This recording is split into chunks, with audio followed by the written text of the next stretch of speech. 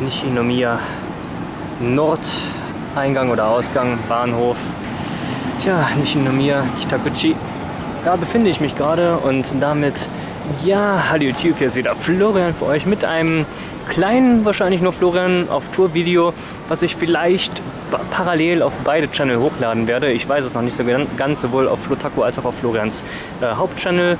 Der Grund ist, ich ähm, ja, war jetzt in meinem Osaka-Ausflug hier ja, erfolgreich, wenn man so nennen möchte, mit dem Einkauf von endlich mal Figuren von meiner absoluten Top Nummer 1 äh, Anime Waifu, wenn man es denn so nennen möchte. Und ähm, nachdem ich da dann also gestern zwei Figuren gekauft habe und nachdem das Thema meiner Hausarbeit ja passenderweise ähm, der Media Mix von der Melancholie der Haruhi Suzumiya ist, gibt es einen Grund, warum ich hier bin. Und zwar werde ich von hier angefangen, da noch sehr, sehr viele Kilometer jetzt wahrscheinlich laufen. So zwei, drei Stunden will ich heute noch unterwegs sein, bevor es dann zurück nach mir geht, um ja, einige der Seiji, also der heiligen Pilgerstätten von den Haruhi Suzumiya Anime-Fans hier abzusuchen. Und das hier ist einer der Vorplätze ähm, oder einer der wichtigen Orte, gerade für die Folgen der Endless Eight, wo sie sich hier in der Nähe des Bahnhofs die Gruppe von der SOS dann immer getroffen haben, um ja, dann ihren Plan in Gang zu setzen oder ihre Aktion in Gang zu setzen für die Sommerferien, die sich in, äh, in den Endless Eight ja immer und immer wieder wiederholen. Allerdings hat sich der Platz mittlerweile ganz, ganz stark verändert. Es sah hier früher viel, viel, viel anders aus, wenn ich es mit den Bildern aus dem Jahr 2006 vergleiche, als der Anime ausgestrahlt worden ist und wie die Hintergründe eben auch äh, in der Serie selbst aussehen.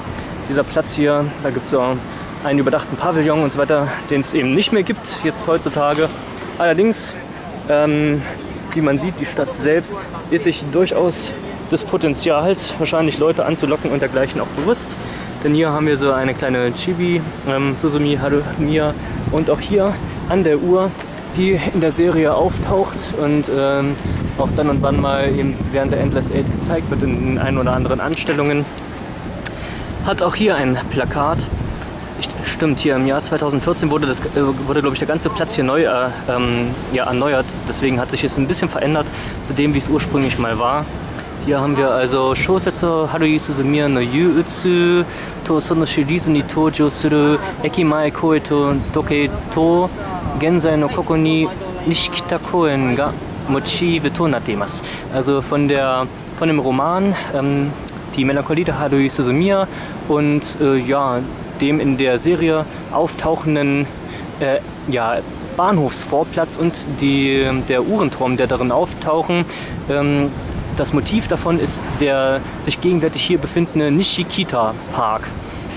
Tja, deswegen von hier soll also meine Reise ein bisschen beginnen auf den Spuren von ähm, Suzumiya Harui. Und mit dieser Urm, äh, Turmuhr hier fängt es an.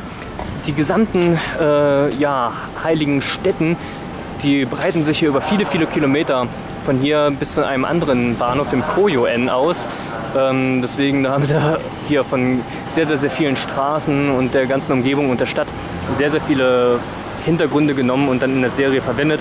Ich werde mich ein bisschen auf die wichtigsten konzentrieren, weil ich habe eben auch nicht allzu viel Zeit. Irgendwann, so spätestens um sieben, wollte ich dann wieder zurück in Osaka sein und dann meine Sachen wieder einsacken im Hotel und mich zurück auch nach mir machen. Weil ich müsste spätestens ja, irgendwann nach acht, äh, ja, ich sollte, ich glaube um acht sollte ich los aus Osaka, damit ich ähm, noch einen Zug bis nach Mie bekomme. Deswegen kann ich nicht ewig viele Stunden hier verbringen. Irgendwann wird es ja auch dunkel.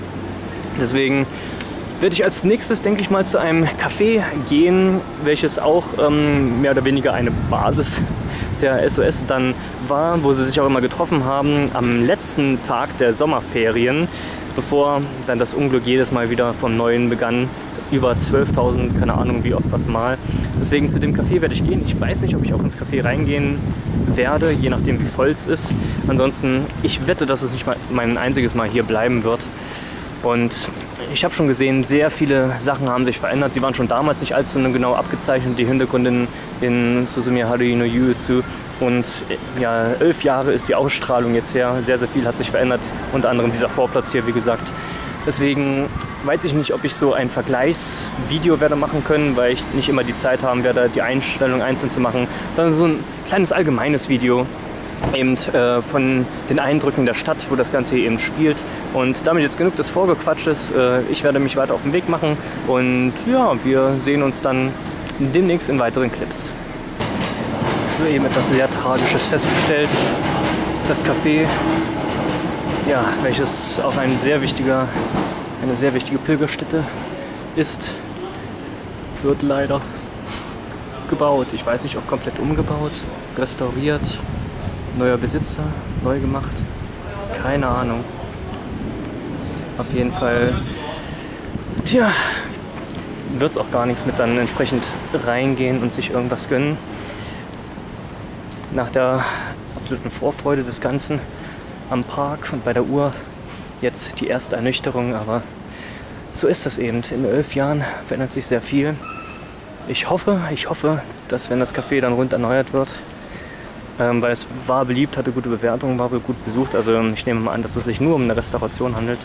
Hoffe ich, dass das Innenlayout zumindest noch erkennen lässt, wie es in der Serie aussah, weil das Innere vom Café sah wohl noch sehr, sehr, sehr ähnlich, was ich von Fotos gesehen hatte, so von, äh, von Seiji Junlei Leuten, die im letzten Jahr gegangen sind und auch dieses Jahr sogar noch, dass ich da so Fotos vom Inneren gesehen habe, sahen, sah der Tisch, die Plätze, das Layout immer noch so aus wie vor über zehn Jahren.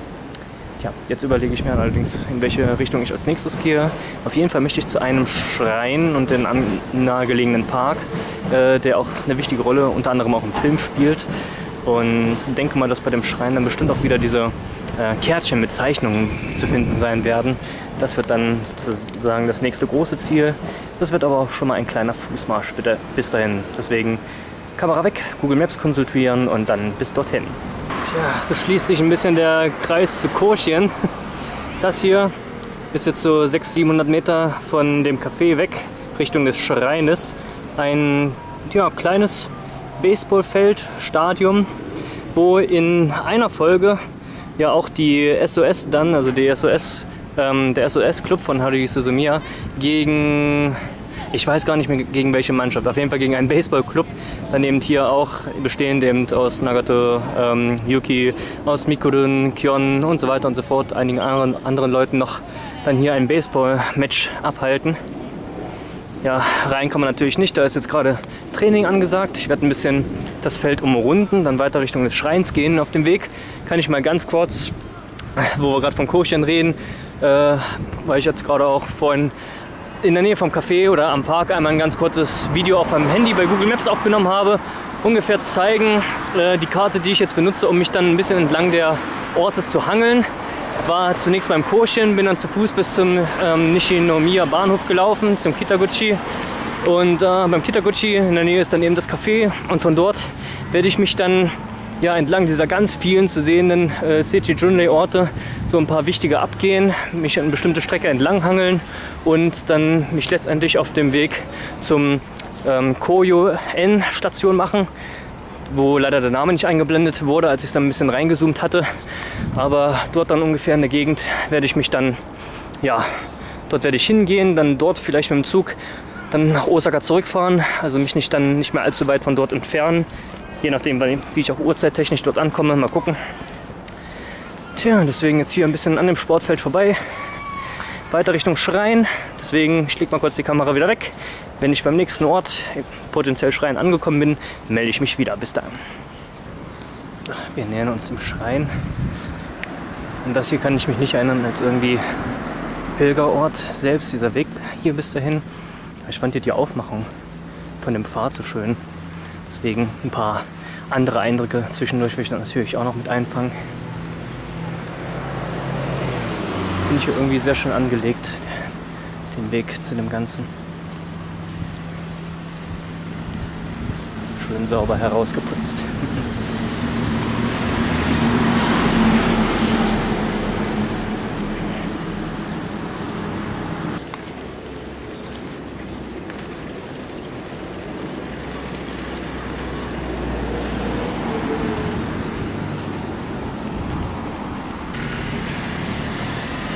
Hier links Torii markiert wie immer den Eingang zu einem shintoistischen Schrein. So langsam nähern wir uns auf den Bergen.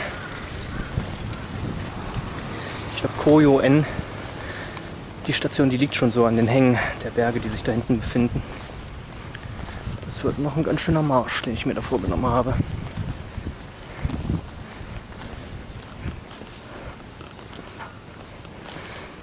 Wie immer bei Flo Standard, Film gegen die Sonne. Ich kann es so einrichten, dass es vielleicht verdeckt ist von dem einen Toddy. Ganz schön schöner Schrein.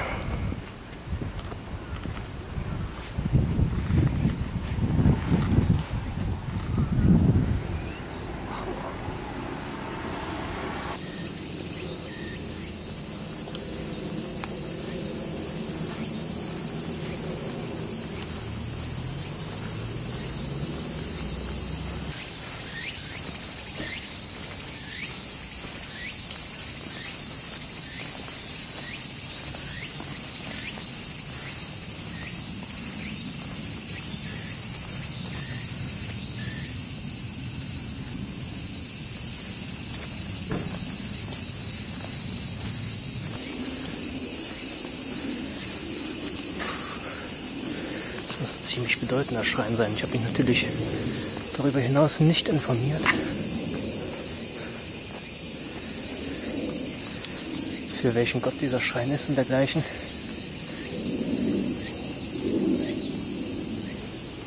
Zuallererst einmal auf jeden Fall reinigen.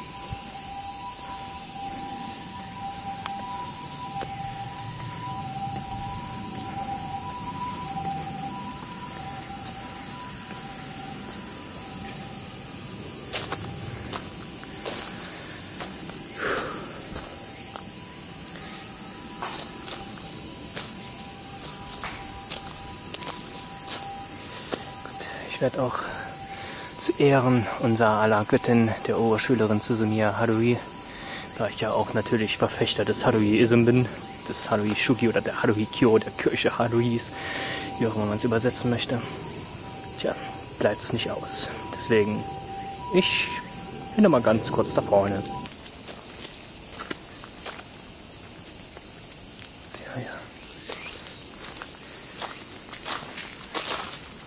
mal gespannt, ob ich hier was Bestimmtes entdecke. Ja, ich glaube, ich glaube, ich glaube.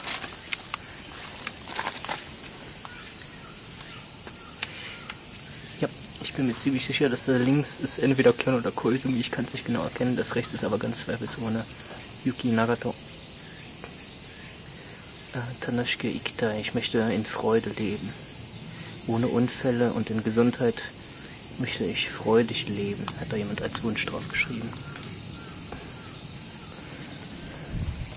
Mit einer kleinen Zeichnung.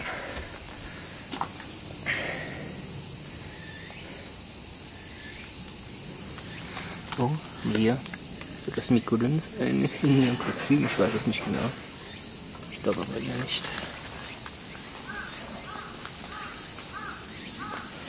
erstaunlich viele so von Schülern, was ich hier sehe. Vielleicht ist es auch speziell für Schüler gedacht. Also ich möchte in die Schule aufgenommen werden. Ich möchte mit meinen Leuten aus dem, äh, aus dem Baseballclub viel Spaß haben und so weiter und so fort. Ach, hier hinten sind ja auch noch ein paar Rückseite. Vielleicht steht auf irgendeinem was geschrieben, nicht gemalt. Ich will auch nicht jedes einzelne für sich durchlesen. Hier erstaunlich viel mit Schule, Oberschule, Mittelschule.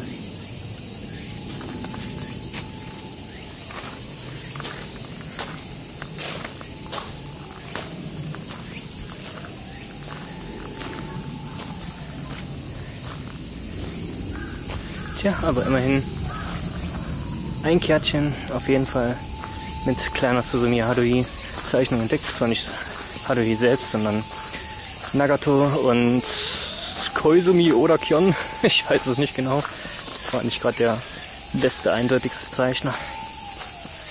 Tja, und damit ist... Oh, eine Sache habe ich noch vergessen. Ich muss auch wenigstens noch für Pokémon Go ähm, den Arena-Orden hier von der Haupthalle mitnehmen. Das darf ich nicht vergessen. Als kleines Andenken, auch virtuell noch.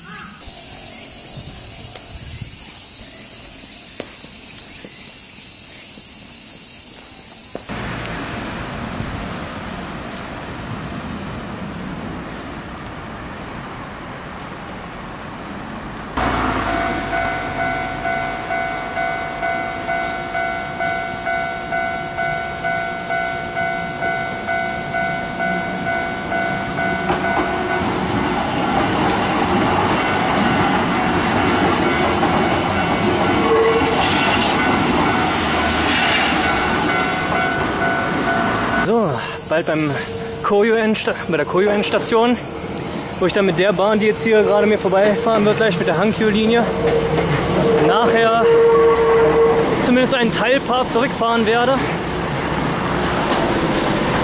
Und in 100 Metern links ist auch ein sehr, sehr wichtiger ja, Punkt, ein sehr, sehr wichtiger Seichi, wichtiger Pilgerort für Haruhi Suzumiya wo einige Folgen sich drin abspielen.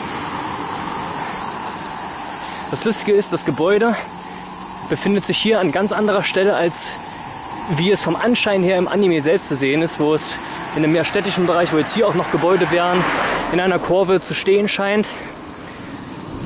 Nämlich, dass Menschen das Familienhaus, Mehrfamilien, nicht Mehrfamilienhaus, die, wie kann man das sagen, äh, Lebevilla, keine Ahnung was, in der Nagato Yuki-chan, also Nagato Yuki, wohnt. Wir sehen es gerade von hinten. Klarer wird es wahrscheinlich, wenn man das Ganze dann hier ein bisschen weiter von vorne betrachtet. Ich werde bestimmt dann wann vereinzelt im Laufe des Videos auch mal zum Vergleich vielleicht ein kleines Bild eingeblendet haben, beziehungsweise um deutlich zu machen, um was für eine Szene es sich handelt, falls ich keine ich habe jetzt keine konkreten Einstellungen nachgeguckt, dafür würde die Zeit einfach nicht reichen. Das hier ist auf jeden Fall aber das Gebäude, wo sich die Wohnung befindet, in der Nakatoyuki wohnt und wo auch Kion das ein oder andere Mal zu wichtigen Phasen zu Besuch ist, unter anderem auch im Film. Und ja, das, das hier hat sich nicht verändert bisher in den letzten elf Jahren glücklicherweise. Also ein sehr gut erhaltener Seiji-Ort, wenn man so möchte. Hier werde ich zumindest, hier werde ich mal eine Ausnahme machen und jetzt wirklich mal gucken, wo eine gute Einstellung ist. Und dann mal so das Vergleichsfoto von wie es im Anime auftaucht zum Vergleich ziehen. Deswegen hier werde ich mal ganz kurz Kamera weglegen, mal bei Google Maps vergleichen und dann Kamera wieder anmachen. Schauen wir mal.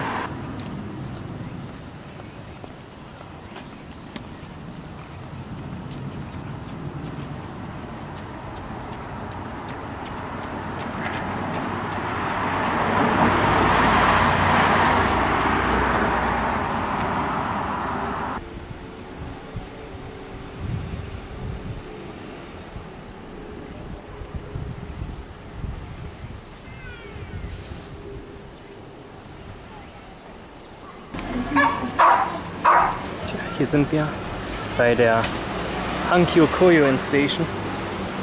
Das Lustige oder Schöne oder Traurige ist, ich weiß nicht, wie man es nennen möchte, ist, es gab ja im Jahr 2014 nochmal eine Anime-Umsetzung des Spin-Offs Nagato Yuki-chan no Shoshitsu, eines Spin-Off-Mangas. Und viele der Orte, die darin auftauchen, die auch hier in Koyoen spielen, ähm, sind eben besser erhalten, weil es aus dem Jahre 2014 Aufnahmen und dergleichen sind, die benutzt worden sind für Hintergründe der Serie. Deswegen, da heißt die Station auch Koyuan-Station mit anderen Kanji dann nur geschrieben und ohne das Hankyu.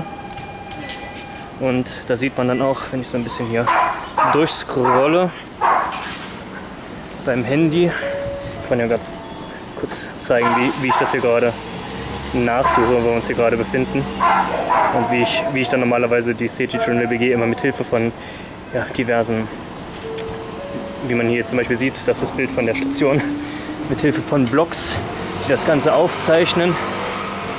Ich jetzt ein bisschen weiter nach oben gehe, War hier zum Beispiel irgendwie eine Sicht auf diesen Laden hier, wo die Charaktere zu sehen sind. Äh,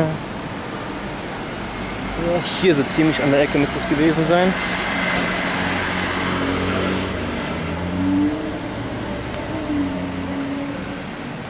Hm, theoretisch müsste es sogar hier sein. Ja, so passt das besser. Steht sogar vom Blickwinkel hier so. Genau, jetzt haben wir es.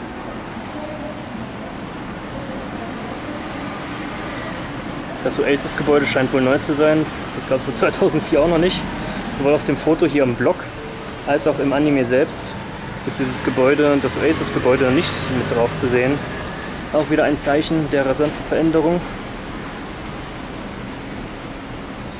die halt vor sich geht im Laufe der Zeit und der Jahre. So, ich muss mal ganz kurz gucken. Zeiten scheint alle 10 Minuten zu fahren. Das ist gut.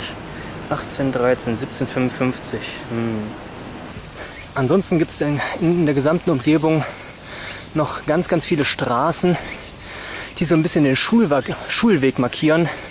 Auch eine Mittelschule, die Modell stand für ähm, die Schule von Susumiya Haruhi und allen anderen, die wäre ein bisschen den, die andere Richtung von der Bahnkreuzung, wo ich vorhin einmal stand, da hinunter.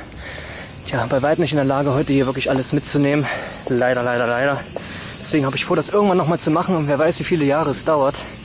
Wer weiß, wie viel sich dann weiter verändert hat und wie viel man dann überhaupt noch wird erkennen können.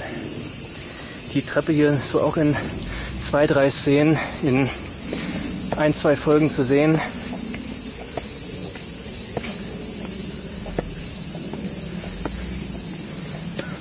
Und ich glaube, die Bank hier gehört auch mit zu einer Szene. War das die hier? Ich bin mir nicht mehr so ganz sicher. Doch, ich bin mir ziemlich sicher, dass es die hier ist.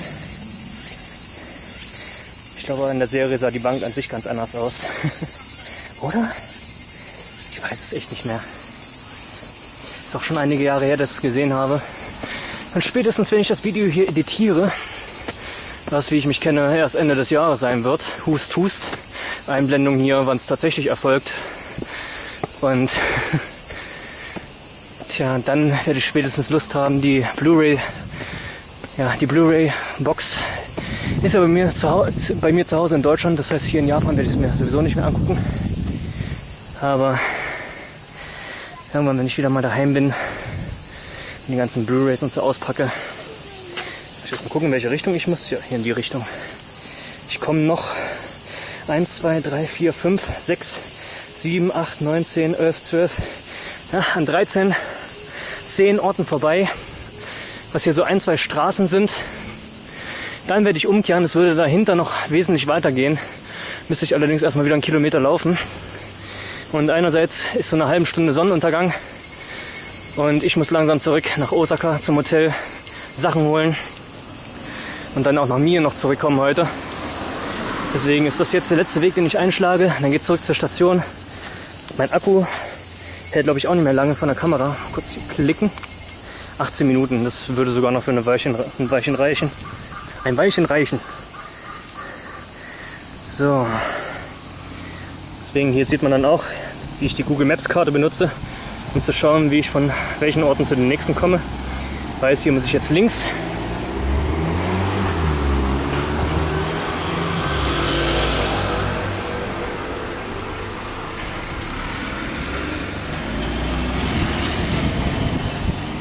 Und dann hier bei der Karte, die ich gefunden habe, wenn ich so auf den Spot draufklicke, dann steht da, der, der die Karte bei Google Maps gemacht hat, hier beispielsweise aus welcher Szene oder so das Ganze stammt.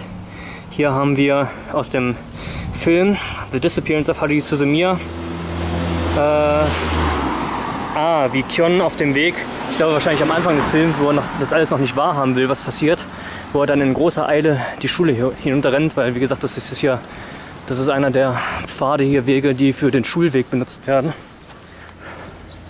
Das müsste dann hier an der Stelle gewesen sein. Ich weiß nicht, ob ich die einzelnen Szenen finden werde. Ich weiß auch nicht, ob sie in diese Kamerarichtung hier geschossen sind. Laut Google befinde ich mich ja jetzt direkt drauf. hier irgendwie was zu sehen ist oder ob es, weil der, die Schule in die Richtung hier liegt, ob es in die Richtung hier geschossen worden ist. Okay, der andere Punkt war irgendwas aus der ersten Folge. Auch wieder Schulweg, was genau weiß ich nicht. Generelles Ziel ist jetzt diese Ansammlung davon Punkten, die alle oder fast alle Schulweg-Szenen sind von verschiedenen Folgen, wo die Charaktere sich unterwegs treffen, miteinander unterhalten, verschiedene Jahreszeiten und so weiter und so fort.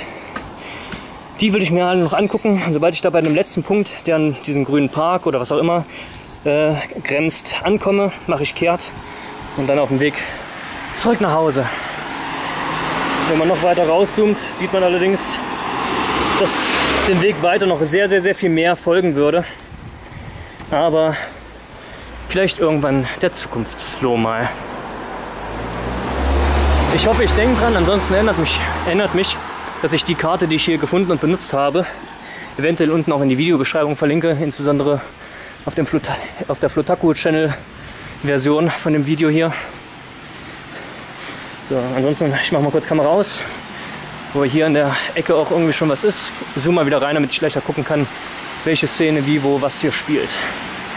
So, das hier müsste die Ampel sein, beziehungsweise hier unmittelbar in der Nähe von dieser Ampelkreuzung und hier sind einige Szenen, wo ähm, Kion Taniguchi den vermeintlichen besten Kumpelcharakter in Suzumiya Haruhi no Yuzu anspricht, der, der von nichts eine Ahnung hat kommt sowohl in der normalen Serie als auch in Showschütze, da allerdings im Winter, vor. Ansonsten diese Straße hier eben auch in verschiedenen Einstellungen ist einer dieser Hügel, Wege, Pfade, die in der Serie dann zur Schule führen sollen. In Wahrheit hier eine recht viel befahrene Straße, wie mir scheint, dürfte es schwierig sein, exakte Einstellungen zu finden. Ansonsten sieht man hier, man ist jetzt echt an dem Rand der ganzen Hügel- und Berggegend. Ich weiß nicht, ob ich das irgendwann mal werde vergleichen können. Ob diverse Ansichten, die man hier so sieht von Gebäuden, noch gleich sind oder ähnlich wie in der Serie. Einige Gebäude.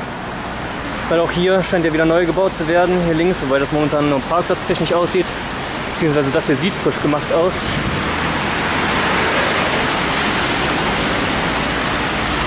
Das vorne ist dann so eine kleine Brücke, glaube ich, über einen Mini-Fluss, wo die Autos auch überfahren bis dahin, ein paar Meter drüber hinaus. Und dann mache ich kehrt. Dann wird es höchste Zeit, den Heimweg anzutreten. Ach stimmt, hier ist irgendwo auch noch eine Bushaltestelle, die auch in der Serie vorkommt. Das ist, glaube ich, der vorletzte Punkt hier.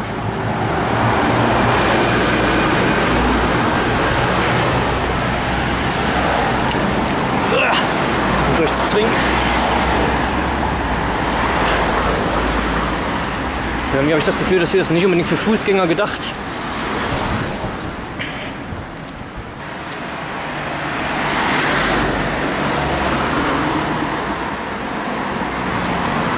Ah, alles klar, ich muss auf die andere Seite. Wieder eine Szene, die ich bildlich erkenne. Ich geistig vor Auge sogar habe. Chance.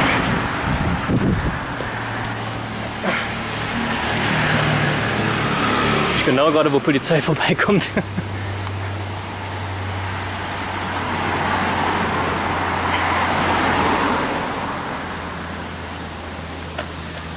Und zwar, wenn wir hier ein bisschen runtergehen, ja, gibt es hier diese Einstellung.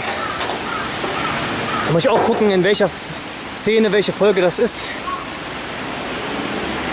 Ja, das ist eine ziemlich markante, wo ich auch schon einige Fotos und so weiter gesehen habe.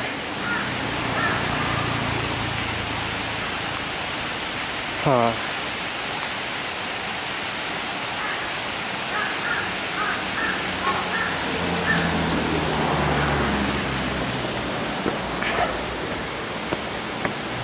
Es gibt so einige Orte, natürlich, wenn man City Journey macht, zumindest für mich, will man natürlich an die Orte von zehn vor allen Dingen, die einen so am meisten bewegt haben, die man wirklich vom geistigen Auge, im Gedächtnis und so weiter hat.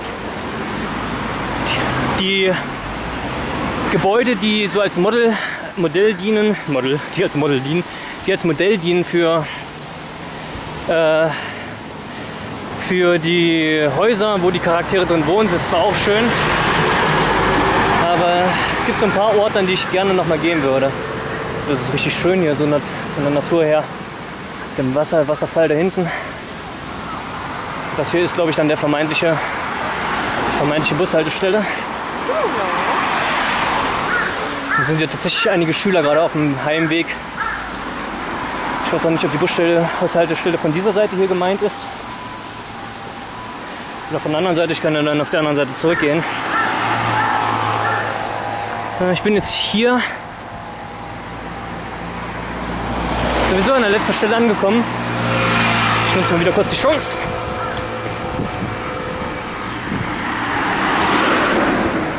Ah, gut, das hier kenne ich auch noch.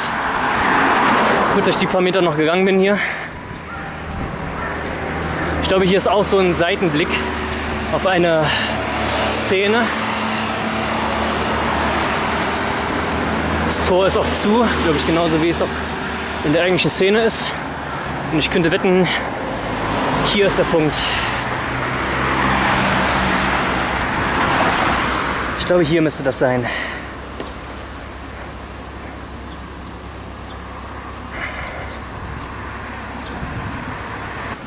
Tja, und ich würde sagen, ich belasse es dann einfach hier an der Stelle. Ich mache mich wieder auf den Runterweg. Ich kann noch mal kurz die Bushaltestelle auf der anderen Seite filmen. Und verabschiede mich dann von diesem Flotako Tours Video hier.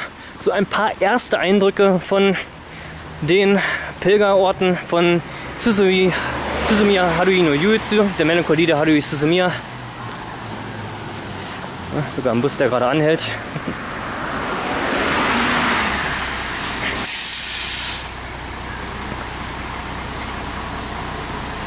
Tja, und dann würde mich freuen, wenn die Eindrücke euch gefallen haben. Irgendwann habe ich vor, auf jeden Fall nochmal hier an diese Stelle wieder zurückzukommen. Und nochmal vielleicht dann mir wirklich eine ganze Tag Zeit zu nehmen und dann eventuell von oben vielleicht anzufangen, dass man dann nicht sozusagen unten von Nishinomiya den Weg hoch bis, Ko, ähm, bis Koyo-en läuft, sondern hier oben bei Koyo-en anfängt und dann den Weg nach runter macht, gerade für die, die vielleicht nicht so fit im Laufen, Bergsteigen, sonst was sind, vielleicht ein bisschen besser. Ansonsten auch schönes Grün hier auf jeden Fall zu sehen.